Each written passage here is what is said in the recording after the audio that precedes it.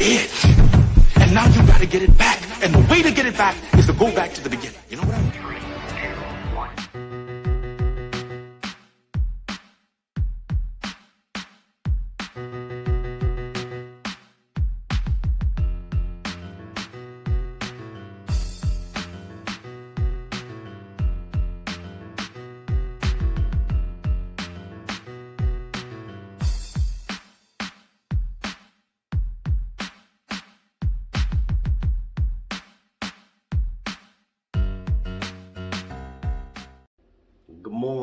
Afternoon, good evening. My name is JH. What we're going to do today is we're going to try to give you some information. And I'm actually going to use my little dry erase marker. We're going to put some things down so that you can actually see little tricks, little methods on achieving some things that you may not have thought of. Little tricks, little cheats that may help you financially later on. Little tricks, little cheats when it comes down to your credit.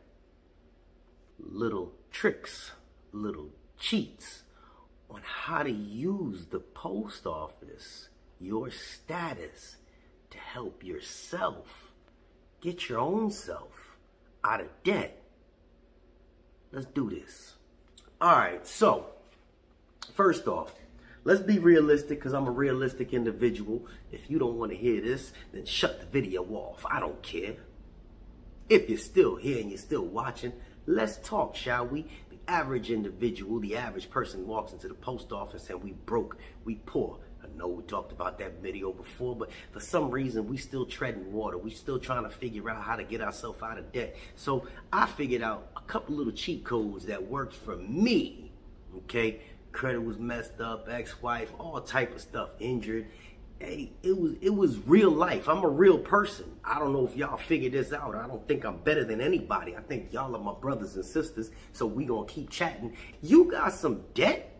You got some notches on your credit? And you like, man, what we gonna do about it? You got a $350 bill. These are our bills over here. So we gonna turn this around. That's your bills. Okay, you got one $350 bill. You got uh, uh, uh, uh a, a, a $450 bill. Okay, now these bills hit your credit report right now. It's crazy. It's crazy, but it happens. It happens. Stuff like this happens. Okay, these are your doctor's bills. These are your other bills. These are your repo bills. It's a bills, bill, bill.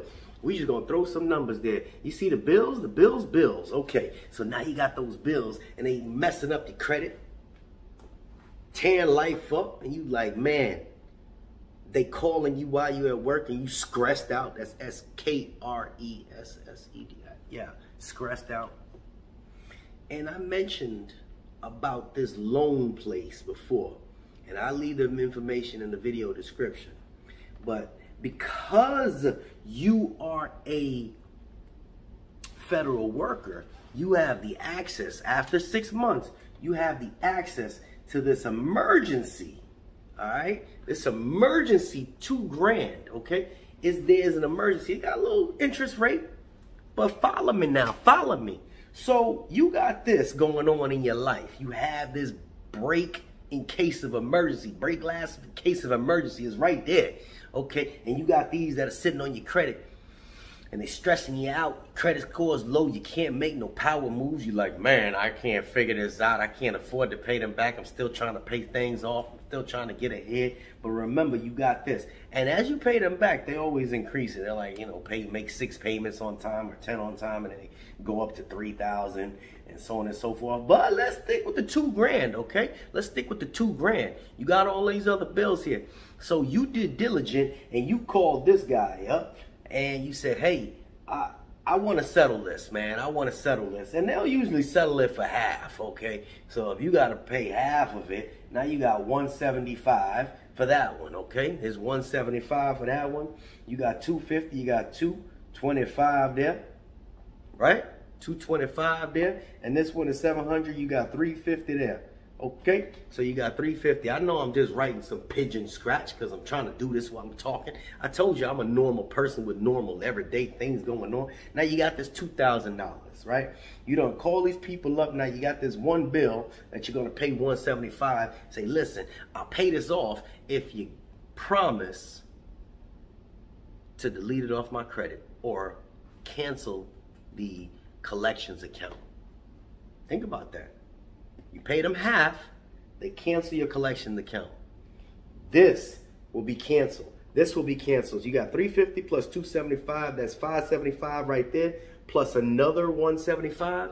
575, 6, that's 750.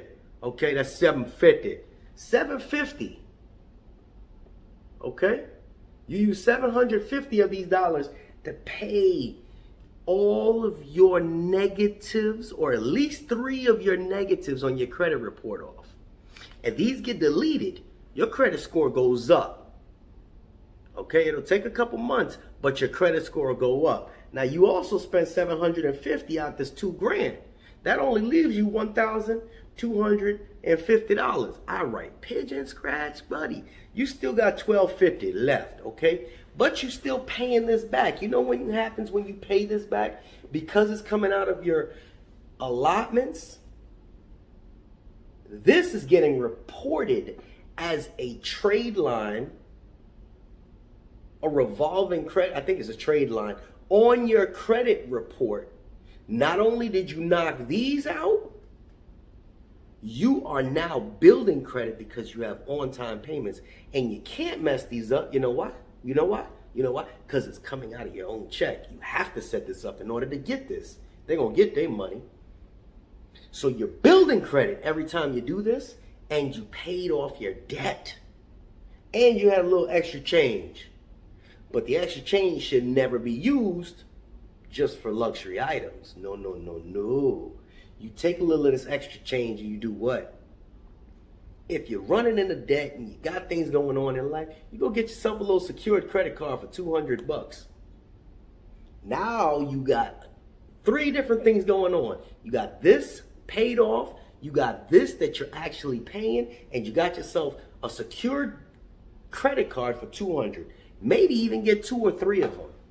You now have positive credit working in your favor. Does it jump right away? No. You messed up over time. It takes time to build it back up. But this is what happens. You use this, this method, and you can actually build yourself back up. Just can't mess yourself up. Just a quick, sneaky tip on what you can do while you're working here.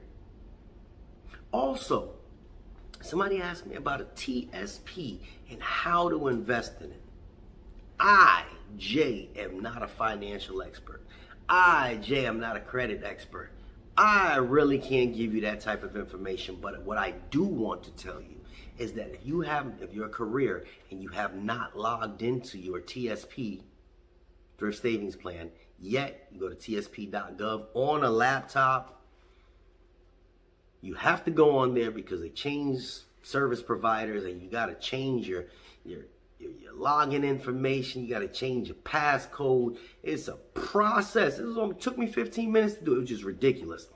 Once you go in there and you read this very small paragraphs underneath each of the funds that they have to offer, you will be able to make intelligent, well, I can't say intelligent because it's the market. We don't know really what's going on you will be able to be make an informed decision on where and how to divvy up your money.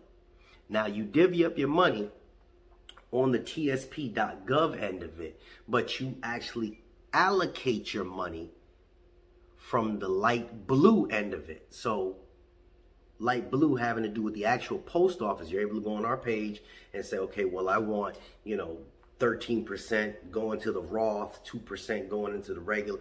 Well, however, I'm not giving any numbers to you guys. That way, that money is now starting to build up. But if you just do it plain like that, 100% of it is going to go into one of the specific funds for when you retire. If you're retiring in 2040 or 2050, they have one fund. You can 100% of that's going to go in there, and usually the slowest and safest fund.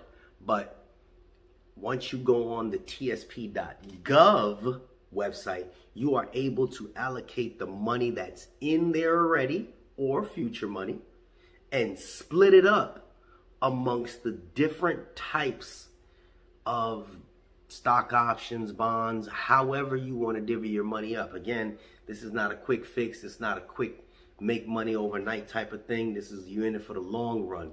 I won't tell anybody what the percentages they should split it up in. That's just something that you have to think on your own. Ask a financial advisor because that money is your future. And you, once you do it, you can move your money as often as you want. You can change the percentages. You want 10% in one, 5% in another, 30, you know, up to 100%. However you want to do it. That is done on the tsp.gov website. Allocating the money from your paycheck comes from the LiteBlue website, tsp.gov. That's where you can play with the percentages going into your actual funds. Just a tidbit. Set yourself some goals aside because this place can and will change your life. All you gotta do is make it change your life. This is JH with another one.